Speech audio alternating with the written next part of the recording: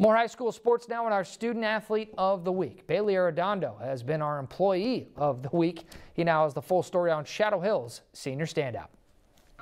Meet Adonai Oudinarath, the heartbeat of the Shadow Hills girls basketball team. Just one of those players that you have to have with the talent that we have on this team. She's actually very selfless, so she has less ego, so critical component to the team. Addie is a really reliable person. She's really dedicated.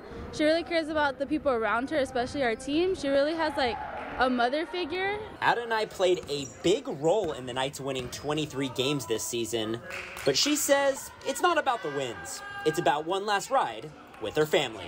I love these girls like with all my heart and since July we've always called this season ring season and so we're ready to win a ring this year. I think the one word that kind of sticks out is supportive. I just think she's extremely supportive of her, her teammates. Those are her sisters. Um, she can go to any of them, and she has the respect of all of them. Over a 4.0 GPA, Adonai was selected for the National College Match Scholarship to the University of Notre Dame. Ever since I was in middle school, I always told myself that I was going to go to college for free.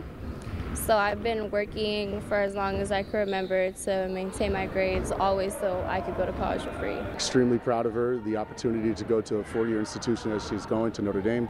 Um, I can't say enough about her, and it doesn't surprise me. She's an articulate young lady. She's a special individual academically. Um, Notre Dame's getting a star for sure. Exceptional in and out of the classroom. And as advice for others, Adonai has one motto.